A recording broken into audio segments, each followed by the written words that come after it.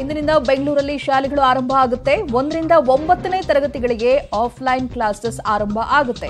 ಶಾಲೆಗಳ ಆರಂಭಕ್ಕೆ ಸರ್ಕಾರ ಈಗಾಗಲೇ ಅನುಮತಿಯನ್ನ ಕೊಟ್ಟಿದೆ. ಶಾಲಾರಂಭಕ್ಕೆ ಸರ್ಕಾರದಿಂದ ಮಾರ್ಗಸೂಚಿ ಕೂಡ ಬಿಡುಗಡೆ ಆಗಿದೆ. ಕೆಲವೊಂದು ಮಾರ್ಗಸೂಚಿಯನ್ನ ಹೇಳಿದ್ದಾರೆ. ನಿಯಮಗಳಿದಾವೆ. ಅದರ ಪ್ರಕಾರವಾಗಿ ಶಾಲೆಗಳು ನಡೀತಾ ಹೋಗುತ್ತೆ.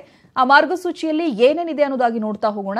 ವಿದ್ಯಾರ್ಥಿಗಳಿಗೆ ಹಾಜರಾತಿ ಕಡ್ಡಾಯ ಅಲ್ಲ ಅನ್ನೋದಾಗಿದೆ. ಸೊ ಇಲ್ಲಿ ಪೋಷಕರ ಅನುಮತಿ ಬೇಕಾಗುತ್ತೆ. ಹಾಗೆ ಏನಾದರೂ ಸಮಸ್ಯೆಗಳಿದೆ ಹೆಲ್ತ್ ಸಮಸ್ಯೆಗಳಿದೆ ಅಂತ ಹೇಳಿದ್ರೆ ಅಂಥವರು ಶಾಲೆಗಳಿಗೆ ಬರಬೇಕಾದಂಥ ಅಗತ್ಯ ಇಲ್ಲ. ಹಾಗೊಂದು ವೇಳೆ ಆ ರೀತಿಯಾದಂಥ ಲಕ್ಷಣಗಳು ಕಂಡು ಬಂದರೆ ತಕ್ಷಣಕ್ಕೆ ಅವರನ್ನ ಕ್ವಾರಂಟೈನ್ ಮಾಡುವಂಥ ಕೆಲಸ ಕೂಡ ಆಗುತ್ತೆ. ಶಾಲೆಯಲ್ಲಿ ಮಾಸ್ಕ್ ಥರ್ಮಲ್ ಸ್ಕ್ರೀನಿಂಗ್ ಕಡ್ಡಾಯವಾಗಿರುತ್ತೆ.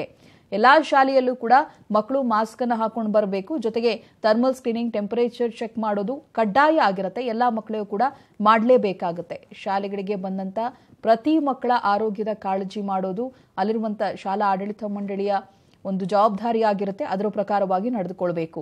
ಇನ್ನು ಸೋಂಕಿತರು, ಸೋಂಕಿತರ ಸಂಪರ್ಕಿತರಿಗೆ ರಜೆಯನ್ನು ಕೊಡುವುದು ಒಂದು ವೇಳೆ ಮಕ್ಕಳಲ್ಲಿ ಸೋಂಕು ಕಂಡು ಬಂದರೆ ಅಥವಾ ಸಿಬ್ಬಂದಿಗಳಲ್ಲಿ ಸೋಂಕು ಕಂಡು ಬಂದರೆ ಅಥವಾ ಸೋಂಕಿತರ ಸಂಪರ್ಕದಲ್ಲಿ ಇವರಿದ್ರೆ ಒಂದು ವೇಳೆ ಮನೆಯಲ್ಲಿ ಯಾರಿಗಾದರೂ ಸೋಂಕು ಕಾಣಿಸ್ಕೊಂಡು ಅಂಥ ಮಕ್ಕಳು ಶಾಲೆಗಳಿಗೆ ಬರೋ ಹಾಗೆ ಇಲ್ಲ. ಅವರು ಕೂಡ ಮನೆಯಲ್ಲೇ ಇರಬೇಕಾಗುತ್ತೆ. ಯಾವುದೇ ರೀತಿಯಾಗೂ ಕೂಡ ಸೋಂಕು ಹರಡೋದಕ್ಕೆ ಅವಕಾಶ ಮಾಡಿಕೊಡಬಾರ್ದು ಅನ್ನುವಂಥ ಉದ್ದೇಶದಲ್ಲಿ. ಇನ್ನು ಮಕ್ಕಳಲ್ಲಿ ಸೋಂಕು ಬಂದರೆ ಆ ತರಗತಿ ಮಾತ್ರನೇ ಕ್ಲೋಸ್ ಮಾಡಿ ಅನ್ನೋದಾಗಿ ಹೇಳಿದ್ದಾರೆ. ಯಾವ ಮಕ್ಕಳಿಗೆ ಸೋಂಕು ಕಾಣಿಸ್ಕೊಳ್ಳುತ್ತೆ? ಆ ಮಗು ಯಾವ ತರಗತಿಯಲ್ಲಿದೆ? ಆ ತರಗತಿ ಮಾತ್ರನೇ ಕ್ಲೋಸ್ ಮಾಡಬೇಕು. ಉಳಿದಂತೆ ಬೇರೆ ತರಗತಿಗಳು, ಶಾಲೆಗಳು ಯಥಾ ಪ್ರಕಾರವಾಗಿ ನಡೀತಾ ಹೋಗುತ್ತೆ. ಸೋಂಕು ಕಾಣಿಸಿಕೊಂಡ ತರಗತಿಯಲ್ಲಿ ಮಾತ್ರನೇ ಕ್ಲೋಸ್ ಮಾಡಬೇಕು ಅನ್ನೋದಾಗಿ ಹೇಳಿದ್ದಾರೆ. ಉಳಿದ ತರಗತಿಗಳು ಎಂದಿನಂತೆ ನಡೆದುಕೊಂಡು ಹೋಗುತ್ತೆ. ಸೊ ಇಲ್ಲಿ ಯಾವ ರೀತಿಯಾಗಿ ಮುಂಜಾಗ್ರತೆಯನ್ನು ವಹಿಸಬೇಕು? ಜೊತೆಗೆ ಮಕ್ಕಳ ವಿದ್ಯಾಭ್ಯಾಸಕ್ಕೂ ಕೂಡ ತೊಂದರೆ ಆಗಬಾರದು. ಆ ನಿಟ್ಟಿನಲ್ಲಿ ಏನೇ ನಿಯಮಗಳನ್ನು ಅನುಸರಿಸಬಹುದು, ಆ ಪ್ರಕಾರವಾಗಿ ಮಾರ್ಗಸೂಚಿಯನ್ನು ಹೊರಡಿಸಿದ್ದಾರೆ.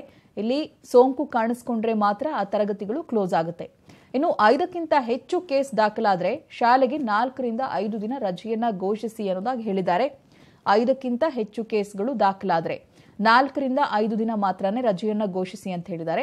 ಅನಂತರದಲ್ಲಿ ಕೇಸಸ್ಗಳು ಕಡಿಮೆ ಆಗ್ತಾ ಇದ್ದಾಗ ಮತ್ತೆ ರಿಓಪನ್ ಆಗುತ್ತೆ. ಯಥಾಸ್ಥಿತಿಯಲ್ಲಿ ಶಾಲೆಗಳು ಆರಂಭ ಆಗುತ್ತೆ. ಒಂದು ವೇಳೆ ಹದಿನೈದು ಕೇಸ್ ದಾಖಲಾದ್ರೆ ಒಂದು ವಾರ ರಜೆಯನ್ನ ಘೋಷಿಸಬೇಕು ಅನ್ನೋದಾಗಿ ಹೇಳಿದ್ದಾರೆ. ಐದಕ್ಕಿಂತ ಹೆಚ್ಚು, ಹದಿನೈದಕ್ಕಿಂತನೂ ಹೆಚ್ಚು ಕೇಸ್ಗಳು ದಾಖಲಾಗ್ತಾ ಹೋದ್ರೆ ಆಗ ಒಂದು ವಾರ ರಜೆ. ಒಂದು ವೇಳೆ ನಾಲ್ಕರಿಂದ ಐದು ಕೇಸ್ಗಳು ಮಾತ್ರನೇ ಇದ್ರೆ ಅಲ್ಲಿ ನಾಲ್ಕೈದು ದಿನ ರಜೆಯನ್ನ ಘೋಷಿಸ್ತಾರೆ, ಶಾಲೆಯನ್ನ ಬಂದ್ ಮಾಡ್ತಾರೆ. ಇನ್ನೇನಾದ್ರೂ ಅತಿ ಹೆಚ್ಚು ಕೇಸ್ಗಳು ದಾಖಲಾಗ್ತಾ ಇದ್ರೆ ಆಗ ಹೆಚ್ಚಿನ ನಿಗಾವನ್ನ ವಹಿಸ್ತಾರೆ. ಇನ್ನು ಅನಾರೋಗ್ಯ ಪೀಡಿತ ಮಕ್ಕಳಿಗೆ ಆನ್ಲೈನ್ ತರಗತಿಗಳನ್ನು ಕೈಗೊಳ್ಳೋದು. ಯಾರ್ಯಾರಿಗೆ ಆರೋಗ್ಯದ ಸಮಸ್ಯೆ ಇದೆ ಅಥವಾ ಲೈಟ್ ಸಿಂಪ್ಟಮ್ಸ್ ಇದ್ರೂ ಕೂಡ ಅದು ಬೇರೆಯವರಿಗೆ ಹರಡಬಾರ್ದು ಅನ್ನುವಂತ ಕಾರಣಕ್ಕೆ ಅವರನ್ನ ಮನೆಯಲ್ಲೇ ಇರುವಂತೆ ಸೂಚನೆಯನ್ನು ಕೊಡ್ತಾರೆ. ಜೊತೆಗೆ ಅವರಿಗೆ ಆನ್ಲೈನ್ ತರಗತಿಗಳನ್ನು ನಡೆಸ್ತಾರೆ. ಈ ಹಿಂದೆ ಯಾವ ರೀತಿಯಾಗಿ ಆನ್ಲೈನ್ ಕ್ಲಾಸಸ್ಗಳನ್ನು ಅಟೆಂಡ್ ಮಾಡ್ತಾ ಇದ್ರು, ಅದೇ ರೀತಿ ಈ ಬಾರಿ ಅನಾರೋಗ್ಯ ಪೀಡಿತ ಮಕ್ಕಳು ಆನ್ಲೈನ್ ಕ್ಲಾಸನ್ನು ಅಟೆಂಡ್ ಮಾಡ್ತಾರೆ.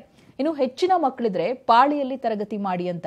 ಬ್ಯಾಚ್ ಮಾಡಿಕೊಂಡು ಬ್ಯಾಚ್ ವಾಯ್ಸ್ ತರಗತಿಗಳನ್ನ ಆರಂಭಿಸುವಂತೆ ಸೂಚನೆಯನ್ನ ಕೊಟ್ಟಿದ್ದಾರೆ.